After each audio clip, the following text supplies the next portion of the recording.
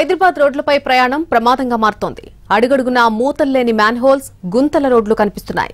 దీంతో జనం ఆఫీసులకు అక్కడి నుంచి ఇంటికి చేరడం గగనంగా మారిపోతోంది.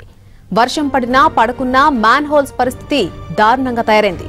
రోడ్ల నిర్మాణం చేపడుతున్న జీహెచ్ఎంసీ ఆయా మార్గాల్లోని మ్యాన్ హోల్స్ క్యాచ్ పిట్ల మూతల అమరికను పట్టించుకోవడం లేదు. దీంతో ఆయా ప్రాంతాల్లో వాహనదారులు తీవ్ర ఇబ్బందులు పడుతున్నారు. కార్పెటింగ్ రీకార్పెటింగ్ పేరిట బీటీ సీసీ రోడ్లను జీహెచ్ఎంసీ నిర్మిస్తోంది.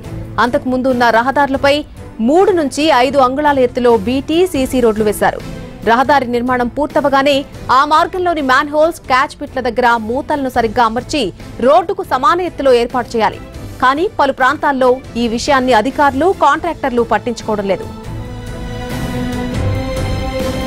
గ్రేటర్లో రెండు లక్షల ఎనభై వేల మ్యాన్ హోల్స్ లక్షా ఇరవై తొమ్మిది వేల క్యాచ్ పిట్లు ఉన్నాయి.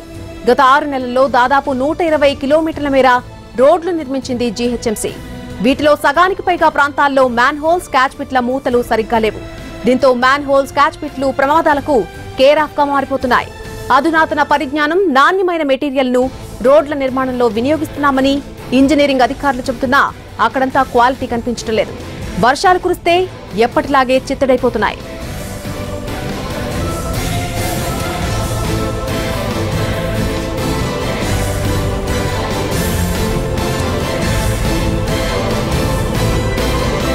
సంవత్సరం నుంచి ప్రాబ్లం ఉంది ఇక్కడ మోరు నీళ్ళు రోడ్డు మీద పోతున్నాయి.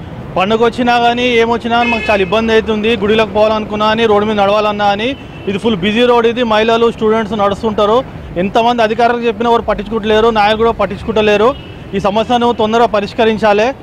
ఏ దేవాలయాలకి పోవాలన్నా మాకు ఇదే ప్రాబ్లము ఏ ఆఫీసర్కి చెప్పినా ఎవరికి చెప్పినా పట్టించుకోరు. వస్తారు చేస్తారు వెళ్ళిపోతారు. కానీ ఏ- ఏ నాయకు